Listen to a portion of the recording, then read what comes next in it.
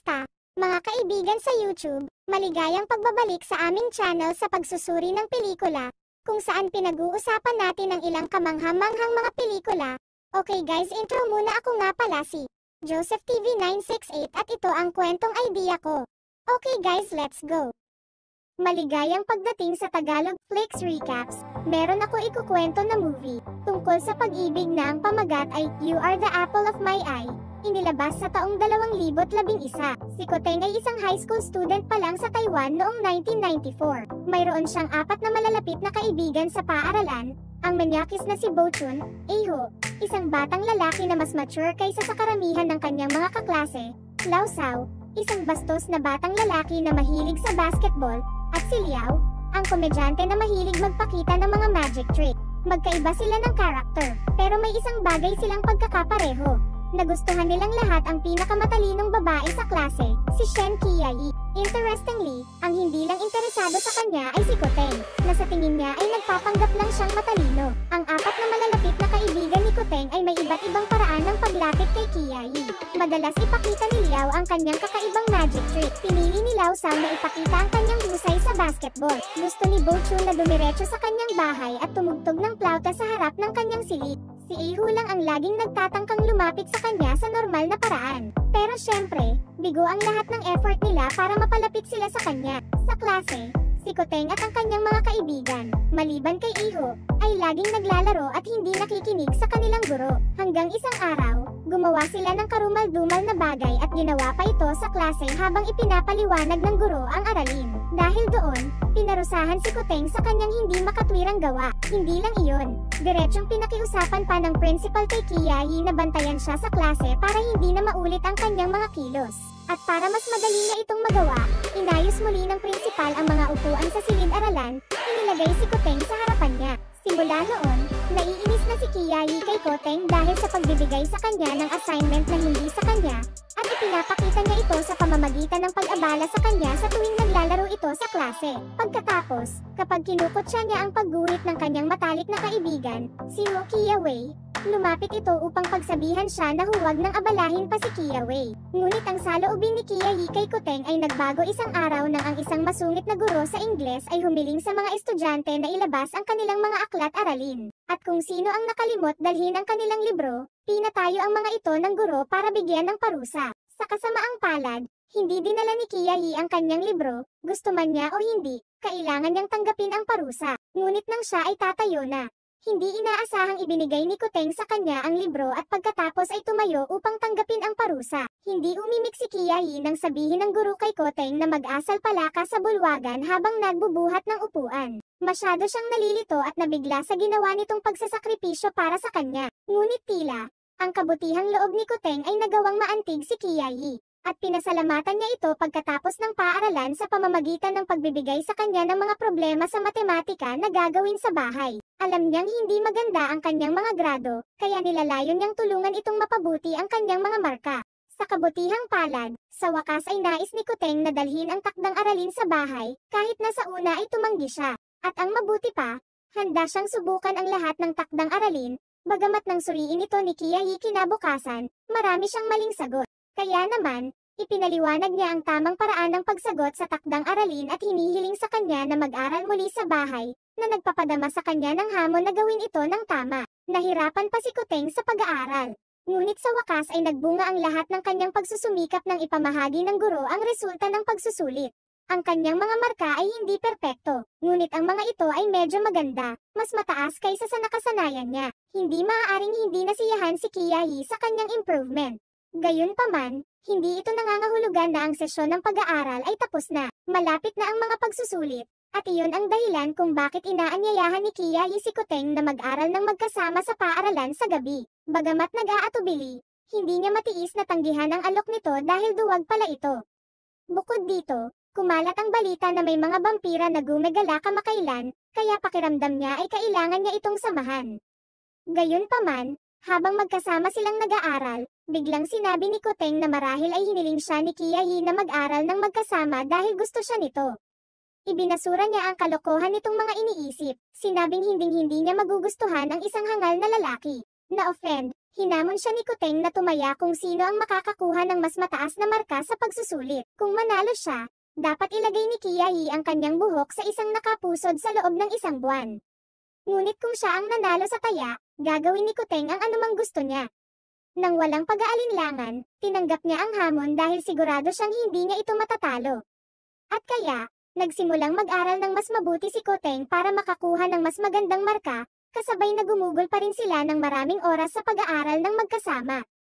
At dahil madalas silang magkasama, lumalago ang kanilang relasyon nang hindi nila namamalayan.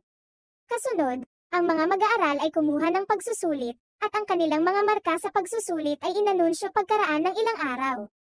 Gaya ng maaaring asahan, ang mga marka ng pagsusulit ni Kiyahi ay mas mataas kaysa kay Koteng. Kaya, bilang nanalo sa taya, may karapatan siyang sabihin sa kanya na gawin ang anumang gusto niya. At gusto niyang ipakalbo ang ulo ni Koteng. Tinupad ni Koteng ang gusto niya nung sila ni Kiai ay magkasamang nag-aaral sa paaralan. Palihim siyang lumabas ng klase, nagbibisikleta sa barbershop sa buhos ng ulan, at nagpaahit ng ulo. Nagulat si Kiai sa bagong hitsura nito pagbalik sa paaralan, nahihirapang paniwalaan na ahit talaga ang ulo ni Koteng. Kaya, bilang kapalit, nagpa siya si Kiyahi na sorpresahin din si Koteng kinabukasan. Pumasok siya sa paaralan na nakapusod ang buhok, na nagbibiruan ang grupo ni Tekeng at makita nila dumaan sa kanilang harap si Kiyahi. Ngunit sa kanilang lahat, si Koteng ang pinaka nagulat. Si Kiyahi ang nanalo sa kanilang taya, at hindi niya kailangang sumunod sa kanyang kahilingan na atali ang kanyang buhok. Pero ginagawa pa rin niya. Matapos makita ang nakapusod na buhok ni Kiyahi, Naging interesado ang pag-aaral para kay Kuteng. Ngunit isang araw, nagkaproblema si Kuteng at ang kanyang mga kaibigan sa paaralan matapos may nagnakaw ng pera sa klase. Lohikal na pinaghihinalaan ng security guard ng paaralan na ang magnanakaw ay isa sa mga estudyante sa klase, at hinihiling niya sa lahat ng mga estudyante na isulat ang pangalan ng taong pinaghihinalaan nila sa papel. Ngunit ang limang magkaibigan at si Kiyahi ay tumanggi na sumunod sa kanyang mga utos dahil sa tingin nila ay hindi etikal na akusahan ang kanilang kaibigan bilang isang magnanakaw. Pagkatapos ay tumayo sila upang ipahayag ang kanilang mga pagtutol, at isang iglap, ang lahat ng mga estudyante sa klase ay sinundan ng sabay-sabay na paghagis ng kanilang mga bag sa security guard. Dahil dito, pinarusahan ang limang magkakaibigan at si Kiyahi, na nakitang mga pasaway, dahil sa pagtayo sa labas ng silid-aralan.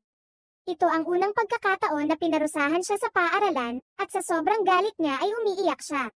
Ngunit sa kabutihang palad, mabilis na nag-react si Kuteng at ang iba sa pamamagitan ng pag-aliw sa kanya, na muling napangiti. Mabilis na lumipas ang oras, at sa wakas, dumating na ang araw ng graduation. Siyempre, masayang ipinagdiwang ni Nakoteng, Kiyai, at lahat ng kanilang mga kaibigan ang graduation, at pumunta pa sila sa beach ng magkasama para gumawa ng huling alaala bago sila maghiwalay.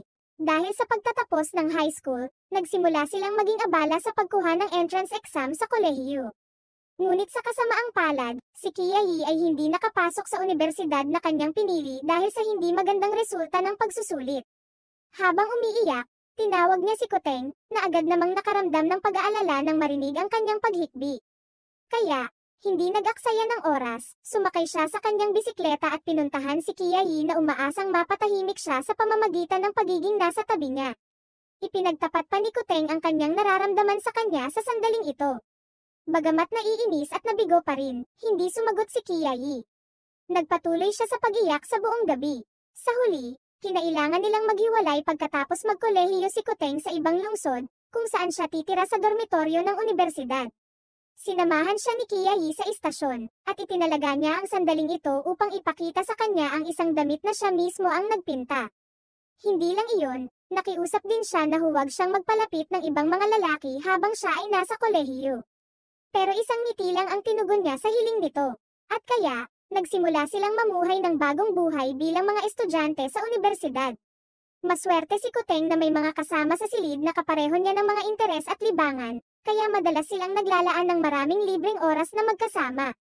Gayunpaman, palagi siyang naglalaan ng oras upang tawagan si Kiai, at ang kanilang pag-uusap ay puno ng pagpapalitan ng mga kwento tungkol sa kanilang buhay sa universidad. Halos araw-araw silang tumatawag sa malayuan hanggang dumating ang taglamig. Sa bakasyong ito, unang beses silang nag-date, kung saan sobrang saya nila na parang sila ang perpektong magkasintahan. Gayunpaman, hindi pa rin nila ginagawang opisyal ang kanilang relasyon. Tila gustong makita ni Kiai kung talagang gusto siya ni Kuteng, kaya tinanong niya ito ng diretso habang naglalakad sila sa riles ng tren. Si Kuteng, syempre, ay hindi nagbabago sa kanyang sagot, talagang gusto niya siya, at crush niya ito mula noong high school. Pero, parang gusto pa niyang makasigurado, ibinunyag niyang may iba pa siyang aspeto na karapat dapat siyang kamuhian. Tulad ng, halimbawa, siya ay isang magagalitin na tao at maaaring makipag-away sa kanyang kapatid na babae dahil sa maliliit na issue. Iyon ang dahilan kung bakit naramdaman niyang na-overestimated siya ni Koteng, at hindi pa rin niya lubos na maintindihan kung bakit siya nagustuhan nito. Kaya, gusto niyang pag-isipan niyang mabuti, gusto ba niya talaga siya? At sa huli, napagpasyahan niya na hindi siya direktang tinanggihan ni Kiai. Pagkatapos, habang naghahanda ng parol, Muling ipinahayag ni Koteng ang kanyang pagmamahal kay Kiai. Ngunit nang sasagutin na niya ang kanyang nararamdaman, nagpasya siyang huwag marinig ang sagot nito dahil natatakot siyang marriage. Sa halip ay pinalakas niya ang kanyang determinasyon na patuloy na mahalin ito hanggang sa matiyak niyang tatanggapin siya nito. Kasabay nito, binitiyan nila ang parol na may nakasulat na hiling. Pagkatapos ng bakasyon, at nagsimulang muli ang mga lektura, sa wakas ay napagtanto ni Koteng ang isang paraan upang makuha ang puso ni Kiai. Kailangan niyang ipakita ang kanyang lakas sa kanya. At para magawa iyon, nag-organisa siya ng fighting competition sa pagitan ng mga estudyante sa kanyang universidad bago ito sabihin sa kanya, umaasang darating siya para panoorin siyang lumaban at humanga sa kanyang hindi kapanipani walang lakas. Ngunit taliwas sa kanyang inaasahan, iniisip ni Kia Hina ang ideya ng isang fighting tournament ay parang bata. Naisip niya na kailangan niyang saktan ang sarili sa hindi malamang dahilan. Si Kuteng, gayon paman, ay hindi lubos na naiintindihan ang kahulugan ng mga salita ni Kiai. Kaya naman, ipinagpatuloy niya ang laban gaya ng plano. Natupad ang hiling ni Kuteng. Dumating si Kiai sa laban dahil nag-aalala siya sa kanya pagkatapos ng lahat. Gayon paman, hindi siya lubos na humanga sa laban. Kaya naman, pagkatapos ng laban, naghintay siya sa harap ng dormitoryo nito, kung saan pinagalitan niya kaagad nang makita niya ito. Hindi niya maintindihan kung bakit niya sasaktan ang sarili sa hindi malamang dahilan at tinawag siyang napakabata. Ngunit tiyak na hindi matatanggap ni Kuteng ang pagiging insulto ng ganoon. Lalong lumakas ang kanilang pagtatalo hanggang sa pinagbawalan niya itong lumapit sa kanya. Sa pakiramdam na wala na siyang magagawa para baguhin ang isip niya, ginawa ni Kuteng ang gusto niya. Tumalikod siya at iniwan siyang mag-isa, hindi niya namalayang umiiyak si Kiyahi sa likuran niya. Matapos makipaghiwalay kay Kiai, hindi na siya muling nakipag-ugnayan sa kanya. Namumuhay siya sa kanyang mga araw gaya ng dati sa kabila ng nakabukas na sugat sa puso niya. Para naman kay Kiai, nalaman ni Eho na nagkaroon sila ng malaking away ni Koteng, at agad niyang ginamit ang sandaling iyon para pasayahin siya. Dahil sa pagpupursige niyang lapitan siya ay handa siyang tanggapin siya bilang nobyo. Ngunit hindi nagtagal ang kanilang relasyon, sa kasamaang palad. Sa huli, kinailangan nilang maghiwalay pagkatapos na malaman ni Kiyahi na hindi niya talaga mahal si Eho. Pagkatapos, noong 1999, niyanig ng malakas na lindol noong ikadalawamput isa ng Setyembre sa Chichi, at naramdaman ang pagyanig sa dormitoryo ni Koteng. Dahil ang epicenter ng lindol ay kung nasaan si Kiyahi, pagkatapos ay tumakbo siya palabas ng campus upang makakuha ng signal ng cellphone. Pagkakuha pa lang niya ng signal ay agad niya itong kinontak. Buti na lang at hindi siya naapektuhan ng lindol. Matapos ang dalawang taon na hindi nag-uusap sa isa't isa, si Koteng at Kiai sa wakas ay nagsimulang muli sa pag-uusap. At ginamit niya ang pagkakataong ito para tanungin kung may boyfriend na ba siya ngayon. Sa halip na direktang sagutin ang tanong, sinabi niyang nahirapan siyang tanggapin ang pag-ibig ng ibang tao matapos na mahalin ng husto si Koteng. Nang marinig ang paliwanag na iyon, Tinanong niya kung bakit hindi niya sinagot ang kanyang damdamin noong araw na pinalipad nila ang parol, na sinagot niya ito ay dahil talagang nag-e-enjoy siya sa mga oras na sinusubukan nitong mapalapit sa kanya. Sabi ng mga tao, mabilis na nawawala ang pag-ibig kapag palaging nagde-date ang dalawang nag-iibigan. Kaya, nagpa siya siyang hayaan si Kuteng na habulin pa siya. Tinapos nila ang kanilang pag-uusap sa gabing iyon sa pamamagitan ng pasasalamat sa isa't isa. Matapos makapagtapos ng kolehiyo si Kuteng, siya ay naging isang manunulat at nagpa siya na simulan ang kanyang karera sa pamamagitan ng pagsulat ng kanyang kwento ng buhay sa isang libro. Samantala, si Eho ay nasa larangan ng insurance. Si Lao Sao ay nagtrabaho bilang isang agent ng kotse na may kamanghamanghang bilang ng mga benta.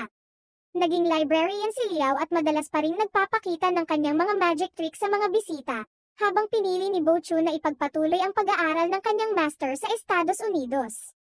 At ang panghuli, si Ho Wei, ang matalik na kaibigan ni Kiai, na dating kinukot siya ni Koteng dahil mahilig siyang gumuhit ng mga kakaibang bagay, ay naging isang napakamatagumpay na manga artist.